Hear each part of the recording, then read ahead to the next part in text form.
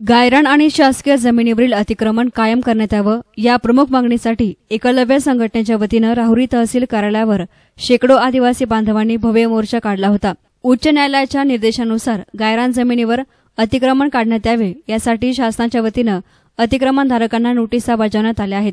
त्यामुळे अतिक्रमणधारकांमध्ये प्रचंड अस्वस्थता निर्माण झाली आहे.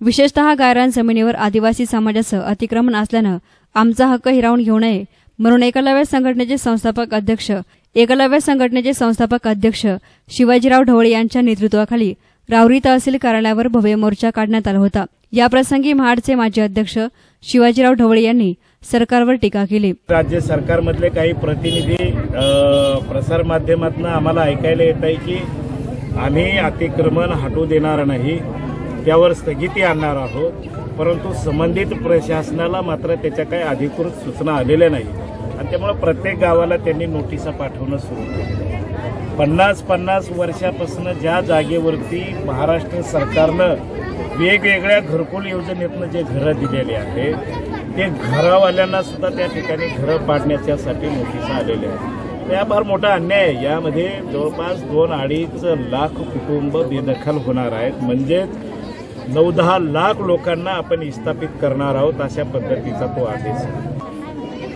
या राज्यामध्ये एकोणीसशे अठ्ठ्याहत्तर साली एकोणीसशे ब्याऐंशी साली आणि एकोणीसशे एक्क्याण्णव साली गायरान जमीन नियमित करण्याच्यासाठी नियमाकुल करण्याच्यासाठी जे काही निर्णय घेतले ज्याचे जी आर काढले इथल्या प्रशासनानं आता जशी नोटीस देण्याच्यासाठी ते तत्परता दाखवतात त्याच पद्धतीनं त्या काळामध्ये ह्या जमिनी नियमाकुल करण्याच्यासाठी प्रशासनानं जर तत्परता दाखवली असती तर ही लोक आज विस्थापित झाली नसती. सातबारा उतार्यावरती याची नोंद आणि म्हणून राज्य सरकारनं या राज्यातल्या कास्तकऱ्यांची त्या जागेवर राहणाऱ्यांची ही जी भूमिका आहे ती सुप्रीम कोर्टामध्ये पुनर्याचिकेद्वारे स्पष्ट करावी.